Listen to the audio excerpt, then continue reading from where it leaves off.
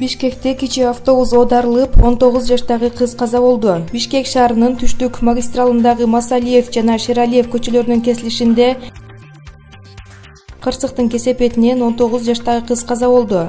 Бул тууралуу бишкек шаардык ички иштер башкармалыгынан билдиришти. Кырсык бүгүн сегизинчи августта катталды.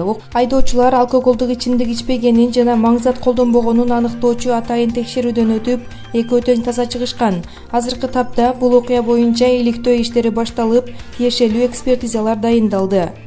Маалымат турмуш kg сайтына таандык таластагы базарда акча уурдоо менен алектенген топтун мүчөлөрү кармалды. Бул тууралуу сегизинчи августта талас облустук ички иштер башкармалыгынын басма сөз кызматы маалымдады.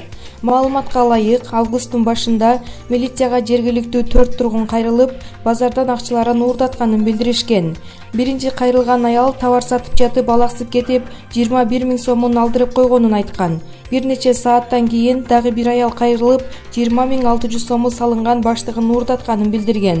Көп өтпөй дагы эки адам кайрылган. Жабырлануучулар жалпы сексен беш миң сомго жакын зыян тартышкан. Иликтөө иштеринин жүрүшүндө кылмышка шектелип төрт адамдан турган топ кармалды. Кармалгандардын баардыгы талас районунун талды булак айылынын тургундары экени аныкталды. Аталган факты боюнча уурулук беренеси менен кылмыш иши козголуп иликтөө иштери жүрүп жатат маалымат булагы турмуш kg сайты. Акшда аюу жол тандабасты айдап качты. Американын дуранго шаарында аюу токтоп турган жол тандабасты айдай качып анысы аз келгенсип талкалап салды. Түндө аюу автоунаанын тормоздук системасын иштетип үйдүн жанындагы аянттан айдап кеткен. Ал көпкө узабай маңдайкы имараттын почта түркүгүн сүзгөн. Ызы чууну уккан коңшулары полиция чакырган тартип сакчылары келгенде эң калган жол тандабасты үзүлүп кеткен рулун жана радионун сынып кеткен тетиктерин табышкан. Андан сырткары арткы айнек талкаланып калган.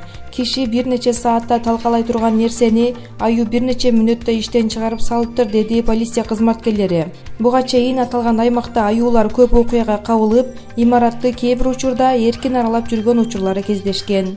Маалымат булагы спутник kg сайты